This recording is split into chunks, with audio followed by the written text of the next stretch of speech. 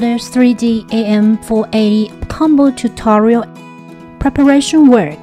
Take out assembled propeller and motor. Remove the propeller, adapter, and spinner. Motor and ESC connection. Plug the motor and ESC with the three corresponding connection lines, red, blue, and black color. Throttle signal lines connection for ESC and M-Link.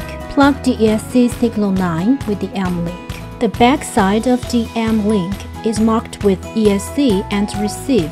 Plug the ESC signal line into right lower direction interface of M-Link ESC. P equals white line, negative sign equals black line. Throttle signal lines connection for receiver and M-Link. Take out the throttle signal line, black, white, and red short line of receiver. Plug the ESC signal line into left lower direction interface of M-Link receiver. P equals white line, negative sign equals black line.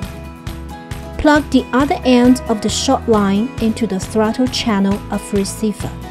Signal return lines connection for ESC and M-Link plug one end of signal line into corresponding interface of ESC. T equals orange line, negative sign equals brown line. Plug another end of signal return lines of ESC into right top interface of M-Link ESC. T equals orange line, negative sign equals brown line.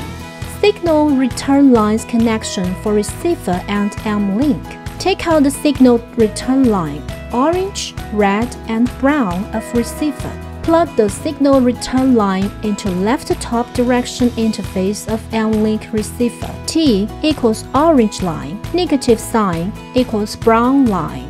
Plug the other end of the short line into the S-bus channel of receiver. Throttle calibration turn on the transmitter and push the stick to the highest position. Connect the ESC to the battery. Pull the throttle stick to the lowest position when hearing the confirmation tone. After hearing the confirmation tone again, calibration is complete.